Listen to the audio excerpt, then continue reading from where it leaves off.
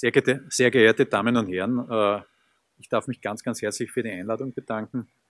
Äh, ich halte ja typischerweise eher überblicksartige äh, Vorträge zur Stadtentwicklung in Wien oder ich darf in Wien auch die Smart City Strategie koordinieren. Das ist insofern auch für mich etwas ein, ein, ein Neuland und hineingerutscht bin ich da vermutlich mit der unvorsichtigen Aussage, Zweifelsfall etwas überhöht ist oder zugespitzt ist, aber dass so quasi äh, die Donauinsel eigentlich mit zu den prägendsten, um nicht zu sagen intelligentesten städtebaulichen Interventionen in Wien der Nachkriegszeit zählt. Jetzt könnte man da noch einige weitere hinzufügen, vom U-Bahn-Netz äh, etc. Aber äh, die Donauinsel ist jedenfalls hier ganz, ganz vorne zu nennen. Äh, worüber möchte ich sprechen äh, in den nächsten Minuten? Äh, Ihnen einfach ein Gefühl geben, wie ist es zu dieser Situation, zu dieser räumlich-topografischen Situation gekommen, äh, wie war die Entwicklung über die Zeit, was war eigentlich äh, sozusagen die Grundgedanken hinter dem Ganzen, wie hat sich das entwickelt, wie waren die Planungsvorgänge? Äh, und welche Funktion hat die Donauinsel heute? Und freue mich dann schon darauf, dass der Kollege Waldner das Ganze dann vertieft, was so quasi das Donauinselfest anlangt. Äh, ich möchte aber auch was Persönliches vorwegschicken.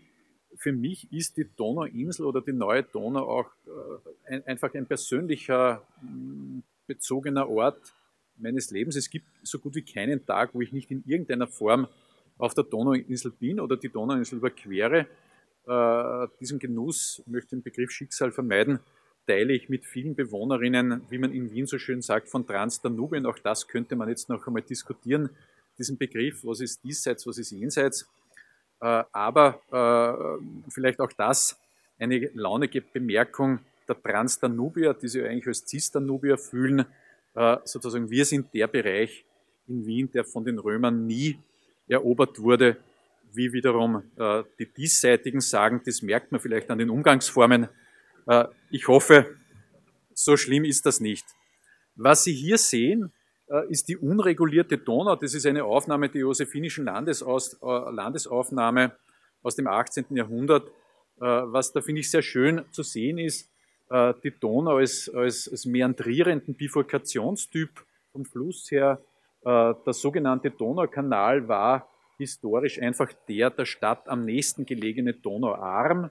Was an dieser Aufnahme auch ganz schön sichtbar wird, wie es dazu kommen konnte, äh, dass Österreich äh, vor rund 200 Jahren, zumindest in der Geschichtsschreibung der Österreicher, äh, einen Sieg über die napoleonische Armee errungen hat.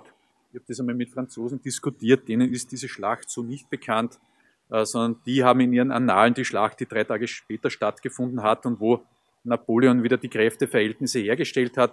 Wie ist es zu diesem Sieg gekommen?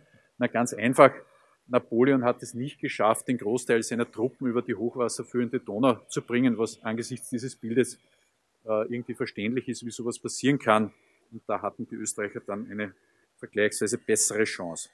Was an diesem Bild schon klar war, ist, äh, dass die Donau äh, hier sozusagen ein sehr schwer zu beherrschendes Flusssystem war, äh, das damit natürlich auch die Situation Wiens immer wieder von Hochwassern geprägt war. Selbst das Römerlager Wien-Dobona hat äh, sozusagen ein Eck, also wenn man sich die, die ursprünglich idealtypische äh, Ausprägung äh, hernimmt, äh, schon im Lauf des Bestandes äh, so quasi das nordwestliche Eck auch durch ein Hochwasser verloren, das sozusagen in die Donau abgerutscht ist, wenn man so will. Äh, das ist eine andere Aufnahme, die sozusagen das Ganze etwas romantischer zeigt, aber einen ganz guten Eindruck davon gibt, wie wir uns dieses System vorzustellen haben. Im 19. Äh, Jahrhundert wurde die Donau reguliert. Äh, Sie sehen hier einen Blick vom Leopoldsberg über den Nussberg, also vom Westen der Stadt, in südöstliche Richtung. Und was Sie hier bereits sehen, ist, dass die Donauinsel und die neue Donau nicht mit der Regulierung der Donau mitgebaut wurden, sondern da gab es eben äh, auf der Seite äh, des 21. und 22. Bezirks äh, das sogenannte Inundationsgebiet oder eben auch bewusst das Überschwemmungsgebiet. Das ist eine zweite Aufnahme, die das noch einmal sehr schön zeigt. Äh, das Inundationsgebiet ist durchaus auch sozusagen, war einer der rauen Orte Wiens, einer der wilden Orte, auch der ungeregelten Orte, auch der ungeregelten Orte der Freizeitbeschäftigung äh, und Betätigung. Und äh, ich sehe das durchaus positiv. Manches von dem konnten wir in die Gegenwart auch der Donauinsel rüber retten, also des Unfertigen, des Ungeplanten, auch des Bedeutungsoffenen. Äh, die Hochwässer hatten aber weiterhin eine hohe Bedeutung für Wien. Das zeigt etwa ein Hochwasser äh, in den 50er äh, Jahren des 20. Jahrhunderts. Also die Konklusion war, der Hochwasserschutz durch die Regulierung der Donau war für Wien nicht ausreichend. Das zeigt beispielsweise die Situation 1975. Sie sehen hier noch die, die alte Reichsbrücke, die ein Jahr später bekanntermaßen eingestürzt ist. Äh, und Sie sehen hier sozusagen sehr, sehr anschaulich, das ist nicht die Art von Hochwasserschutz, die Wien benötigt hat. Äh, insofern äh, wurde ein Prozess in Gang gesetzt, ein Hochwasserschutzprojekt aufzusetzen. Und das ist, glaube ich, schon mal die wesentliche Botschaft. Die neue Donau und die Donauinsel, so wie wir sie heute vorfinden, ist das Ergebnis der Überlegungen zu einem Hochwasserschutzprojekt. Ja. Es wurde in den 70er Jahren äh, mit, äh, mit den Bauarbeiten begonnen äh, und hat dann einen städtebaulichen Wettbewerb gegeben. Äh, ich würde jetzt nicht auf die Details eingehen. Äh, das Relevante war aber im Prinzip, und auf das komme ich dann noch, und das wiederhole ich jetzt, weil es einfach bemerkenswert ist, dass die Gestaltung der Donauinsel in der Errichtung verändert wurde. Also dass in der Errichtung aus dem ursprünglichen Hochwasserschutzprojekt dann ein Hochwasserschutz- und Freizeitprojekt gestaltet wurde. Äh, Sie werden das nicht lesen können. Ich habe das eher angefertigt, da ich davon ausgehe, dass Sie die Unterlagen mitbekommen. Äh, das zeigt sinngemäß die Ablaufphasen. Ich will da jetzt nicht darauf weiter eingehen. Äh, das zeigt aus dem Wettbewerb heraus die unterschiedlichsten Zugänge, die die Projektanten gefunden haben. Vielleicht hier gleich ein Literaturtipp besteht auch unten. Einen Gutteil meiner Weisheiten beziehe ich aus dem Buch Das Wiener Modell, publiziert im Jahr 1985, ist nur mehr antiquarisch erhältlich. Wenn Sie es wo finden, zugreifen. Also das hat sozusagen höchsten Lehr- und Informationswert. Äh, was, glaube ich, ganz interessant ist, es wurde dann eigentlich mit dem Wiener Modell ein idealtypischer Ablauf gefunden, wie man in so einer komplexen Situation äh, eine Planung erfolgreich durchführen kann. Dieses System wurde dann bei den Gürtelplanungen in einer, in einer adaptierten Form noch einmal angewendet und dient in meinen Augen bis heute als Basis für eine dialogorientierte Planung aus einer berateten Jury, aus einer Projektleitstelle in der Verwaltung, wo das Ministerium einbezogen war, aus Planungsteams, aus beratenden Expertinnen. Sie sehen das hier dargestellt. Auch da fehlt die Zeit im Detail darauf einzugehen. Die Conclusio ist, das war keine Planung aus dem stillen Kämmerchen oder aus dem Elfenbeinturm. Heute würde man sagen, das war eigentlich ein sehr elaboriertes kooperatives Verfahren, das hier durchgeführt wurde.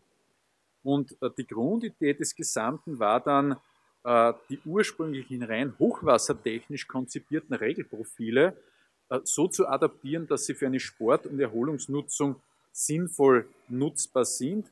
Äh, sie erkennen das auch heute noch, wenn Sie die Donauinsel besuchen oder die neue Donau, dann werden Sie feststellen, dass am Nord- und am Südende der Donauinsel das Ganze einen sehr stark hochwassertechnischen Schutzcharakter aufweist, wenig noch für die Erholung geplant und konzipiert ist und je näher zur Mitte, also das waren auch die Teile, die am Schluss errichtet wurden, äh, desto stärker ist hier auf eine Freizeit- und Erholungsnutzung Bezug genommen worden, desto naturnäher, desto weniger technisch fällt das Bauwerk heute auf. Äh, das ist das, was ich bereits gesagt habe. Wir finden im Nordteil heute eine sehr extensive Nutzung vor. Wir haben im Mittelteil die intensive Freizeitnutzung. Das ist im Prinzip auch der Teil, nördlichen Bereich, wo das Donauinselfest stattfindet. Äh, und wir haben im Südteil wieder die, die extensivere Nutzung, auch mit hohen Qualitäten naturräumlicher Art. Die Dimensionen sind bereits erwähnt worden, einen Halbmarathon lang. Äh, sozusagen die, die Donauinsel selbst oder die neue Donau einer Breite von rund 200 Meter, eine, einer Wasserfläche von rund 420 Hektar. Äh, was man nicht vergessen darf, ist, es ist nach wie vor ein Hochwasserschutzprojekt. Ja? Und das nicht Uninteressante dabei ist, äh, zur Zeit zum Zeitraum der Errichtung ist ja die Stadt Wien stärkstens kritisiert worden dafür. Was ist das für eine Art einer Planung? Braucht man das überhaupt? Wieso kostet das so viel? Äh, das Hochwasser im Jahr 2003, wenn ich richtig äh, das in Erinnerung habe, hat allein in Niederösterreich in Summe mehr Schäden angerichtet, als die Errichtung der Donauinsel und des Hochwasserschutzes überhaupt gekostet hat. Es hat dann wenige Jahre später schon das nächste schwere Hochwasser gegeben. Äh, also wir haben dort innerhalb von zehn Jahren dann zwei mehrtausendjährige Hochwässer in Wien zu verzeichnen gehabt. Äh, neben der Hochwasserschutzfunktion, die natürlich nach wie vor uneingeschränkt gegeben und notwendig ist, ist die Donauinsel heute eine Freizeiteinrichtung. Äh, wenn es sie nicht gäbe, müsste man sie erfinden und insofern natürlich auch eine Sporteinrichtung und zwar denke ich, im Sinne meiner Vorredner, die ich nicht hören konnte, eine höchst moderne Sporteinrichtung, ja, weil sie eine Sporteinrichtung im Sinne einer Mehrfachnutzung ist, wie bereits erwähnt. Und in meinen Augen auch sehr urban, weil die Mehrfachnutzung ja erfordert ein Aufeinander Rücksicht nehmen. Ja. Also wir haben da keine Radrennfahrer-Rennbahn und wir haben auch keine Läuferstrecke und wir haben auch keinen Bereich, der jetzt besonderen Gruppen exklusiv vorbehalten wäre. Es ist urban, es ist städtisch, man muss es ausmachen, wie man miteinander umgeht. Das funktioniert aber eigentlich sehr, sehr gut. Und Sie finden alles dort einfach auf dieser Fläche hat viel, viel Platz. Vom Yoga bis zum Grillen, vom Bootfahren bis zum Segeln, äh, bis hin zum Kajaksport. Äh, ich sage das auch aus meiner Sicht, da machen wir jetzt vermutlich keine Freunde.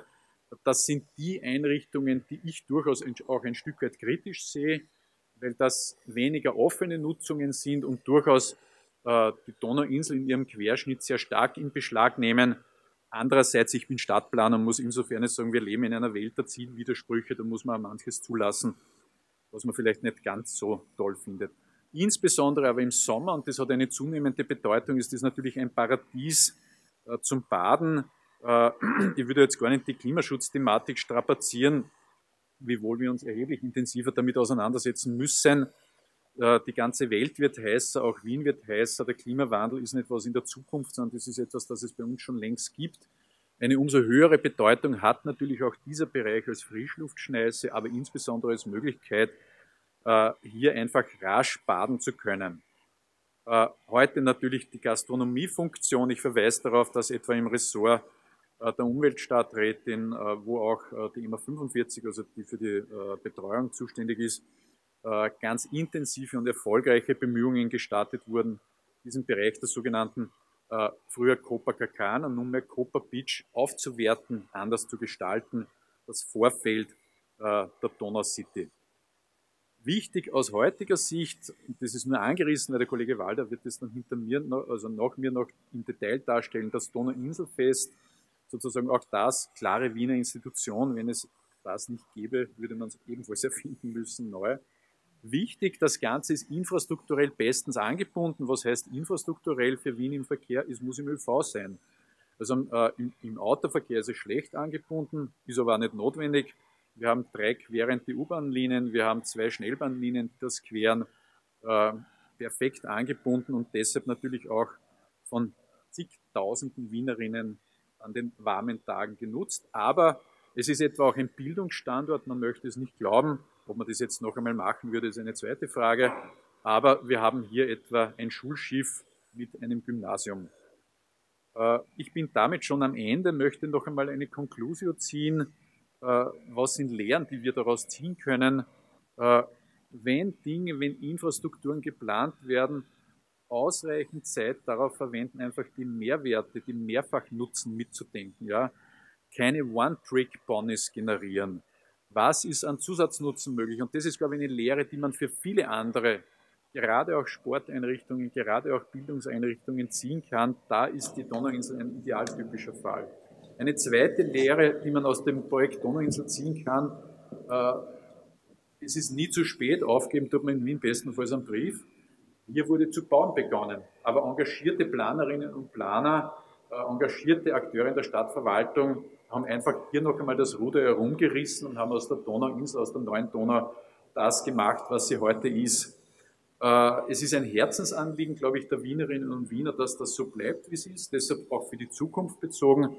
Solange ich in meiner Funktion bin, aber da gibt es viele andere Mitstreiter, wir werden darum kämpfen, dass die Donauinsel und die neue Donau diese Bedeutungsoffenheit behält, die sie heute hat. Das ist zuweilen ein harter Kampf, weil da wird permanent dran genagt. Da gibt es tagtäglich lauter gute Ideen, was man hier alles machen könnte und dort unterbringen könnte. Meine Grundaussage dazu lautet einfach Nein. Ja, bitte lassen wir das Ding in Ruhe. Wir brauchen es auch in Zukunft in dieser Form, in der wir es heute haben. Und meine letzte Aussage, nachdem ich als Smart City koordiniere und ständig mit der Frage, berechtigten Frage konfrontiert bin, was sollten das um Himmels Willen überhaupt sein? Äh, unsere Antwort dann immer ist, na, smart ist in Wien nicht primär das, sozusagen, was Strom verbraucht und blinkt, sondern ist intelligentes Handeln. In dem Sinne ist das ein Klassiker für intelligentes Handeln. Ich bedanke mich für Ihre Aufmerksamkeit.